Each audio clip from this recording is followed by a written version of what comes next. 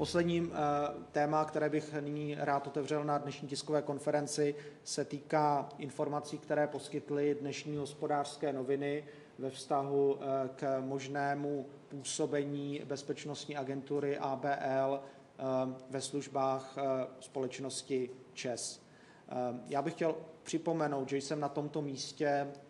opakovaně varoval před tím, že účast politické strany věci veřejné ve vládě může způsobit do budoucna střed zájmu, zejména prostřednictvím možného angažmá firmy ABL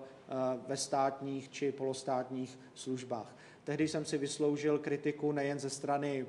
věci veřejné, ale také ze strany firmy ABL, která mi tehdy také pohrozila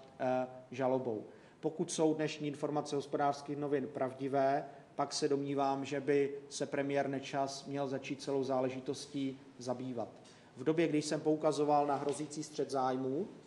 mezi stranou věcí veřejné, firmou ABL a státem na druhé straně, tehdy pan premiér Nečas jasně řekl, že pokud bude hrozit jakýkoliv střed zájmů, bude se v této věci angažovat a takovémuto střetu zájmů zabrání. Domnívám se, že nyní je ta příležitost a pokud se potvrdí informace dnešních hospodářských novin a skutečně firma ABL bude jedním z dodavatelů pro polostátní společnost ČES, teď je přesně ta chvíle, pane premiére Nečasi, kdybyste měl zasáhnout a jasně občanům prokázat, že za vaší vlády nedochází ke střetu zájmu. Chtěl bych nyní tedy premiéra České republiky vyzvat, aby se celou věcí zabýval,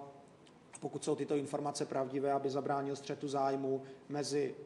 stranou věci veřejné a firmou Abel na jedné straně a státními či polostátními strukturami na straně druhé. Jestliže vláda se snaží mít alespoň tedy poslední zbytky nějakého morálního kreditu pro to, aby prováděla fiskální konsolidaci a stabilizovala veřejné rozpočty výraznými škrty, tak není možné, aby připouštěla střety zájmů, podivné obchody, podivné kšefty